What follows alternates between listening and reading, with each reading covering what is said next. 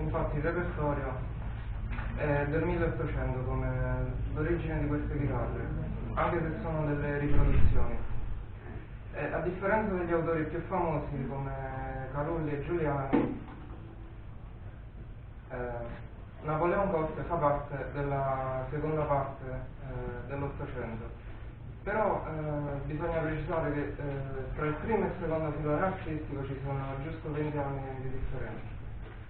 Eh, però sono molti per garantire delle differenze artistiche. Sempre di Napoleon Coste vi faremo sentire uno dei duetti che ho scritto. Buon ascolto.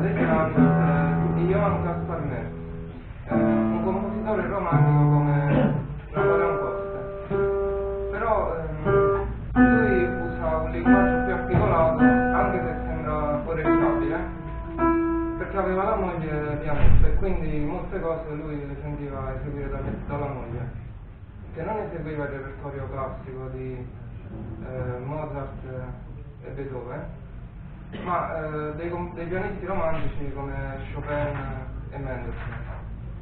E quindi lui ha, ha trasferito quelle cose sulla chitarra. Il primo pezzo è una marcia funebre.